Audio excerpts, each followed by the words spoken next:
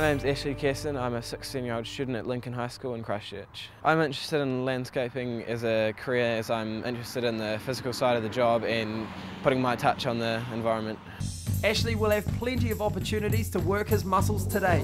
Adam Pollard of Morgan Pollard Landscaping has a wealth of experience to offer Ashley and will give him some on the job training. Really look for um, someone that likes the outdoors, um, they're physically fit and uh, are really keen to get out there and, and do a bit of work. Morning Ashley, how are you? Good, thanks. Um, you'll be doing a whole lot of different things today. Have, have you had any experience in landscaping at Uh, all? limited, but I have quite a passion for the industry. Excellent, excellent. Well, we've got a lot to get onto today, so let's get underway. Awesome. Can be quite a hard physical job, but um, it's also really rewarding. Yeah, we really look for someone that's really keen more than anything else and really wants to learn. Well, actually, we're here at this rest home. This big part of our job is actually getting and reading plans and putting on the ground what designers do for us. Today, we're going to try and pour some concrete through here. We can get on and do it. Awesome. We're trying to protect the paving, so we just lay that out like that and roll it all the way through. And then that'll just sit down there, and as we go along, we'll put some pegs down.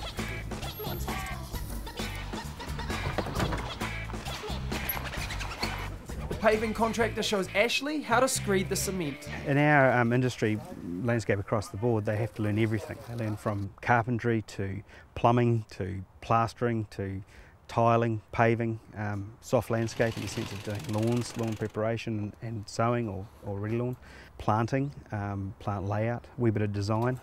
Um, it covers a lot of different trades and why they may not be proficient at get to do everything all the time, they'll get to lot, do a whole lot of different things. It's been good. We've barrowed some concrete. The barrows had a bit of weight in them. Used some screed boards to flatten it out. There's a fine art to the screed boarding. Found that I was getting the art of it going all right. Having completed a number of tasks successfully, it's time to move on to the next job. All right, Ashley, we're up here. We're going to be planting some agapanthus along the front of here. Now, first thing we're going to need to do is measure out how many metres we've got and divide up how many agapanthus we need per metre. And then uh, we can get on and plant them. Just basically measure all the way around, stop on either side of the steps, obviously. Yeah. And then up the other end where we stopped before. Then yell out the measurement. 43. 43 metres. See what we're going to be doing is grabbing the wee agapanthus and we're going to basically get it in between halfway between the hebe and the lawn edge will be an agapanthus. So what we'll do first is go through and set them all out and then basically 350 millimetres from that centre of that one to the centre of the next one will be the next plant. Okay. Oh.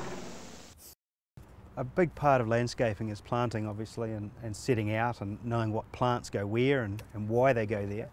You know, every job is different. Every job has specific needs, be that be the client or, or it's actually position and, and sun and, and shade and, and wind and so forth. You know, a first year apprentice kind of starts off doing what you're doing now, is doing a bit of planting, following planting by numbers, I call it, where you get a plan and you, you set them out as per the plan. And, and during that process, you learn a lot about the different types of plants. And as, as you get better with plants, you know, you can, you can create some quite funky different landscapes with them. So, what are the benefits of choosing to embark on an apprenticeship? Well, it, I suppose it's, it's learning on the job. You get the, the, whole wide range of different jobs. You're learning practically how to do things. You learn from a lot of people that have a lot of experience, not just out of a textbook. You get the technical side of it through theory as well as the practical side on the job. Tom Kelly has almost completed the first year of his national certificate in horticulture. So, what drew you into the industry, Tom? Um, well, I wanted to be outside, outdoors, you know. So, are you finding the physical side of the job very hard? Um, yeah, well, it's pretty good because you know, yeah, yeah, when you're working, you're, not, you're also working out as well. Um, it's pretty tough on the body, but you sort of get used to it. Not only is the apprentice's progress monitored by his employer, but through visits by the Primary Industry Training Organisation Regional Manager. How you doing, Tom? Good. Um, now, just doing a bit of a quarterly visit with you guys.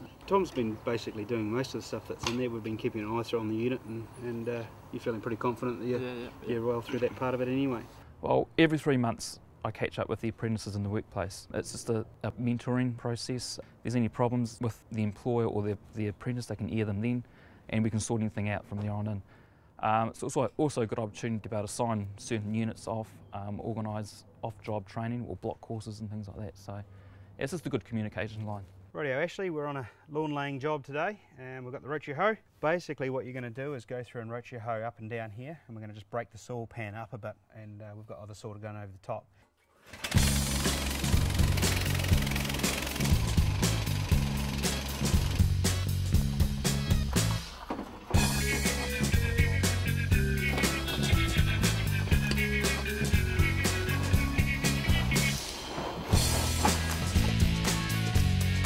Next step is to compact the soil.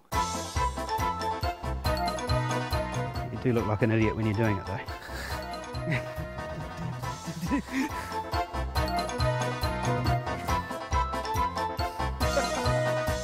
Just there, It's hard physically, but it's really rewarding. Not many two days are the same. Most jobs will last three to four days. Very rarely do you get bored. There's always something to learn, even once you've finished your trade. I mean, it's only really the beginning.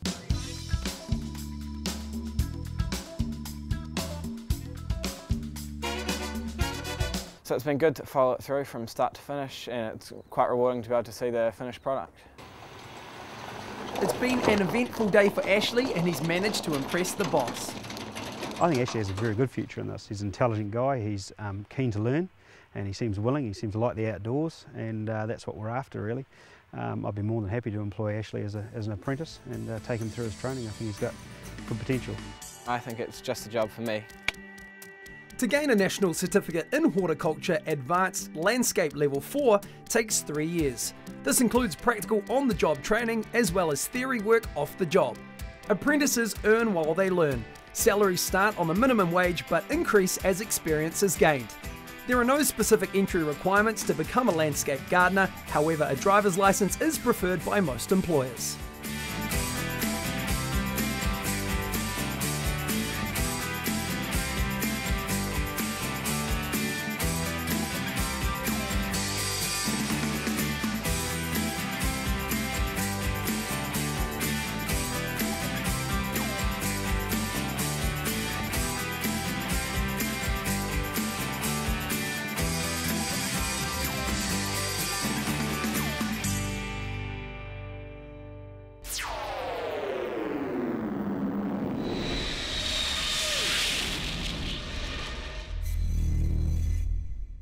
Supporting local content so you can see more of New Zealand on air.